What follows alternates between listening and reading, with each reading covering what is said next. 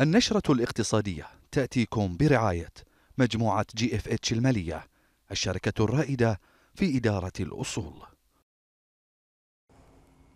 أعلن مصرف البحرين المركزي بأنه تم تغطية الإصدار رقم 2014 من أذونات الخزانة الحكومية الأسبوعية التي يصدرها نيابة عن حكومة مملكة البحرين. وتبلغ قيمة الإصدار 70 مليون دينار بحريني لفترة استحقاق 91 يوما تبدأ في الأول من شهر مايو 2024 وتنتهي في الحادي والثلاثين من شهر يوليو 2024 كما بلغ معدل سعر الفائدة على هذه الأذنات 95 من في المئة.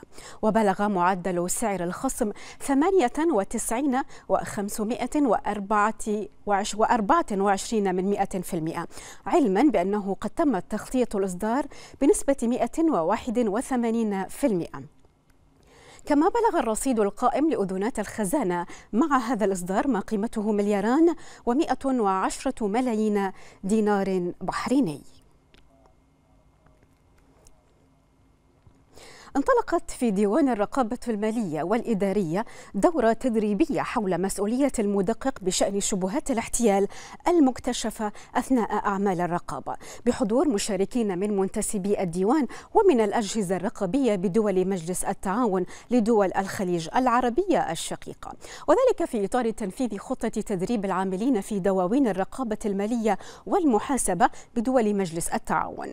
ورحب الشيخ عبد الله بن خالد الخليفة وكيل الديوان ديوان للرقابة الإدارية بالمشاركين مؤكدا أهمية التعاون والعمل المشترك وتبادل الخبرات بين أجهزة الرقابة. وتهدف الدورة إلى تعريف المشاركين بالمعايير المهنية ذات العلاقة بشبهات الاحتيال والفساد في القطاع العام وكيفية الكشف عنها أثناء أعمال الرقابة. والآن نترككم مع أداء الأسواق المالية الخليجية.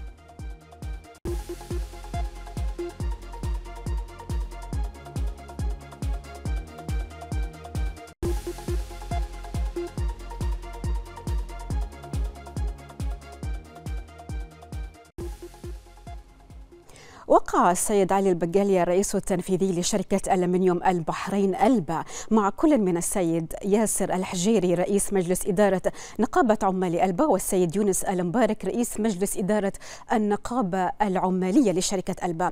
بروتوكولي تعاون لتنظيم العلاقة بين ألبا والنقابتين التابعتين للشركة من خلال تحديد القواعد والإجراءات التي يجب اتباعها في التعامل مع مختلف القضايا العمالية.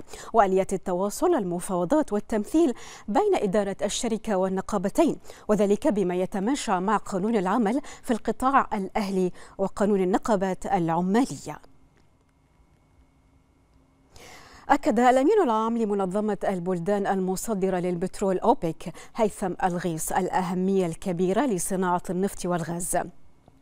فيما يتعلق بتوفير الوظائف حول العالم والفوائد الاقتصادية المهمة التي تقدمها على مستوى الاقتصادات المحلية والوطنية بما توفره من فرص عمل مميزة للشباب أصحاب المهارات العالية كذلك فرص الاستثمار أمام الشركات. في مقال له بعنوان الوظائف مهمة قال الغيص إن صناعة النفط والغاز تلعب دورا مهما في التوظيف على مستوى العالم مشيرا إلى أن هذه الصناعة بمفهومها الأوسع تشمل عدة أنشطة ومجالات مرتبطة بها. تشمل جميع سلسلة التوريد والتصنيع وشركات النقل والفنادق والمحلات التجارية. والآن نترككم مع أسعار صرف الدينار البحريني مقابل العملات الخليجية وأبرز العملات العالمية.